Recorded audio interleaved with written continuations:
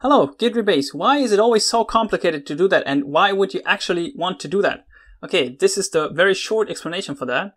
Um, look at this. This is your, yeah, imagine you have a master branch and you have a feature branch. And the feature branch, the base of the feature branch is this commit of the master branch. And what you do when you do a git rebase is that you change the base because you rebase it. You change the base from here to here. Okay, that's what you're doing with rebase. Why would you do that? Because when you now merge these two branches, then you have a very, very clean structure. You get this structure out of it. There are no commits in between here. It's like very clean, just goes out and comes back in. This is especially useful if you don't use squash merges. Okay, but why is this so complicated? Why are there so many steps? Why is this like, why do you need to use git rebase continue and stuff? And why can't you push afterwards? Let's check this out a little bit more in detail. Same thing, you have the master branch, you have the feature branch. And when you do a git rebase, you cannot just jump from the bottom to the top. What you instead do, oh, okay, one more try. What you instead do is you jump from here to here and then you have some conflicts in your files and then you have to solve the conflicts. And then you can go on with git rebase continue and you jump to here. And then you solve all your conflicts. You might in, enter you you might have the same exact same conflicts that you already solved here but you have the same conflicts. And you solve the conflicts here as well. And then you go here and finally you are where you want to be. And also here you have to sorry also here you have to of course save the conf, uh, solve the conflicts that occur. It's basically a merge on every single node. So when you have a very, very, very long history that you didn't rebase uh, into, like when you have this kind of stuff, and especially when, when there are problems occurring, when there are conflicts occurring in, in this area, then rebase can be a real bit of a, a real, a real pain in the, uh, in the bottom. Let's say bottom.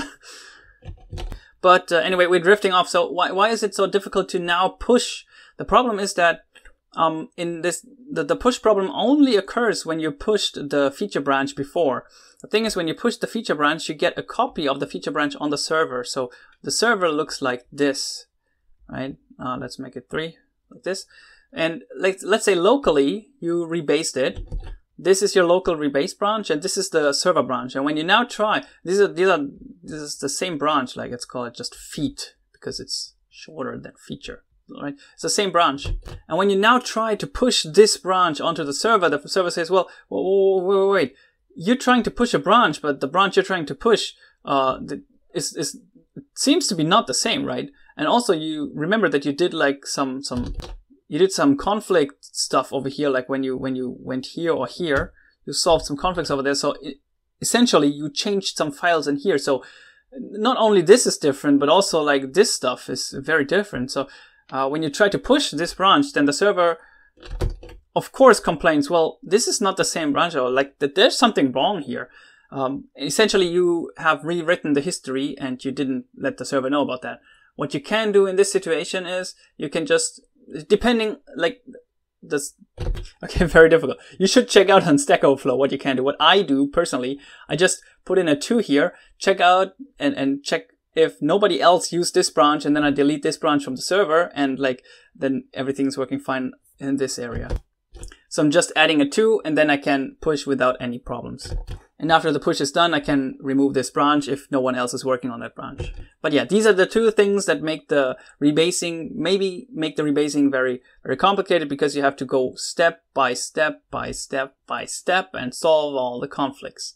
And then even if you had no conflicts until here, you might incur the push problem, but this is also very easily solvable with the two. On the other hand, what you gain is that you have a very, very nice merge structure, what I showed you before, that you get this kind of merge structure. This helps you because when you have uh, many, many people working on the same stuff and you're working with branches, then, and you're always merging, then you might get like stuff like this, like a, a, a version tree like this. This is like really huge or like, right? And then this is like information that you probably can't use because it's too overcomplicated. But this is very easily to see. It's basically like a rail that just goes right on one way. Okay, that being said, thank you very much for listening and comments and questions in the comments section, please.